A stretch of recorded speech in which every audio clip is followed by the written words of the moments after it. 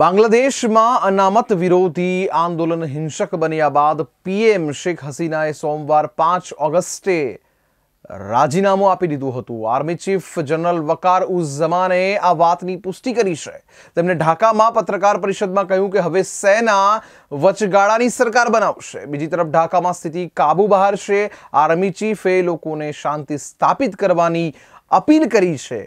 કહ્યું કે અમે પરિસ્થિતિને કાબૂમાં લાવીશું. વિશ્વાસ રાખવાની જરૂર છે. લગભગ ચાર લાખ લોકો રસ્તા પર ઉતરી આવ્યા છે. રાજધાનીમાં વિવિધ સ્થળોએ હિંસાને તોડફોડ થઈ રહી છે. પીએમ શેખ હસીનાએ પીએમ આવાસ છોડી દીધું છે. સમાચાર એજન્સી એએફપીએ સૂત્રના અહેવાલથી જણાવ્યું છે કે વડાપ્રધાન ઢાકા છોડીને સલામત સ્થળે શિફ્ટ થઈ ગયા છે. તેમની બહેન રેહાના પણ તેમની સાથે છે.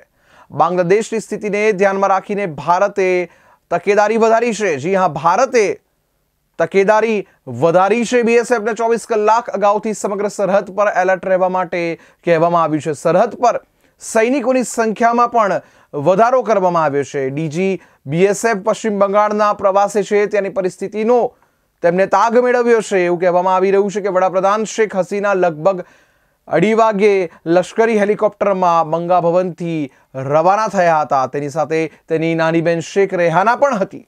આ દરમિયાન સૂત્રોના જણાવ્યા અનુસાર તે ત્રિપુરા પહોંચી છે. કેટલાક મીડિયા રિપોર્ટ્સમાં એવું પણ કહેવામાં આવી રહ્યું છે કે તે અગરતલા પણ આવી શકે છે.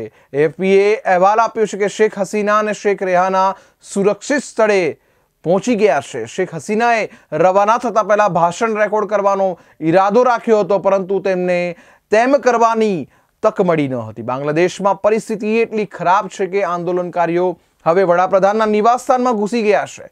ઇન્ટરનેટ બંધ છે. કરફ્યુ છતાં પરિસ્થિતિ નિયંત્રણમાં આવી રહી નથી. રસ્તા પરથી પોલીસને હટાવીને હવે સેના તૈનાત કરી દેવામાં આવી છે. શેખ હસીનાના પુત્રએ દેશના સુરક્ષા દળોને આગ્રહ કર્યો છે કે સત્તા પલટો કરવાના પ્રયાસોને તે રોકે. બાંગ્લાદેશના સત્તારૂઢ પક્ષ, આવામી લીગ અને મુખ્ય વિપક્ષી પાર્ટીના દિગ્ગજ નેતાઓ વચ્ચે સેનાના હેડક્વાર્ટરમાં બેઠક થઈ રહી છે. નોંધનીય છે કે હિંસક પ્રદર્શનમાં છેલ્લા અડતાલીસ કલાકમાં જ બાંગ્લાદેશમાં સૌથી વધુ લોકોના મોત થયા છે. નોંધનીય છે કે આવા જ દ્રશ્યો થોડા મહિનાઓ પહેલા શ્રીલંકામાં પણ જોવા મળ્યા હતા. ત્યારે પણ હજારોની સંખ્યામાં લોકો શ્રીલંકાના રાષ્ટ્રપતિના આવાસમાં ઘૂસી ગયા હતા.